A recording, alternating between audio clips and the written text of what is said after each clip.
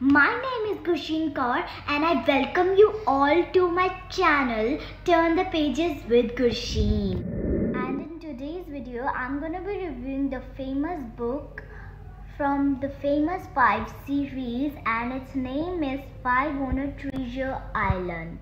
This book is written by Enid Blyton and she was the famous children book author. There are total 21 books in the famous 5 series and this is the first book from the series. The five characters of the book are Annie, Dick, Julian.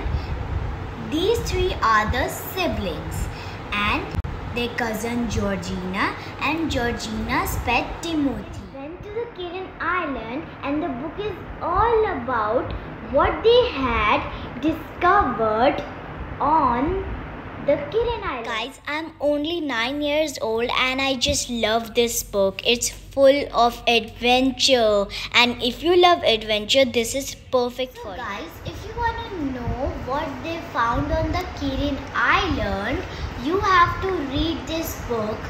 Gosh, Mary बिल्कुल इनकी तरह अपनी cousins के साथ ऐसा ही एक adventure करने जाती। लेकिन अभी तो मैं सोने जा रही हूँ, तब तक के लिए bye bye till then take care और हाँ मेरे जाने से पहले आपको मेरे चैनल को सब्सक्राइब करना होगा और लाइक करना होगा।